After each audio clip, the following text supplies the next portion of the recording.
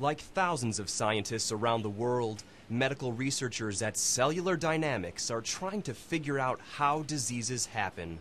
So if you want to understand Huntington's disease, if you want to understand multiple sclerosis, it would be extraordinarily powerful if you could have a sampling of people that suffer from that disease. Now, for the first time ever, they say it is possible. Using adult blood cells, researchers are creating induced pluripotent stem cells, the kind that can turn into any type of cell in the body, like these beating heart cells. We can take actual blood from a patient and generate their very own cells, and from their very own cells, turn that into the cellular therapy. These stem cells are not created from embryos, but work the same and have the same medical potential. And using adult blood instead of embryos means researchers have much more information about a person's medical history. Scientists say what's remarkable about this discovery is it comes from a readily available resource.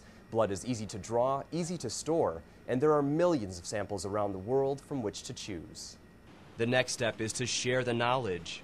We're going to make billions and billions of these cells so that pharmaceutical companies around the world can have a regular and continuous supply of these cells for study.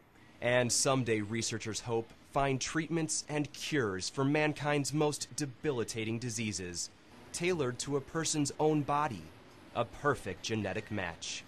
In Madison, Jeff Angelari, Fox 47 News.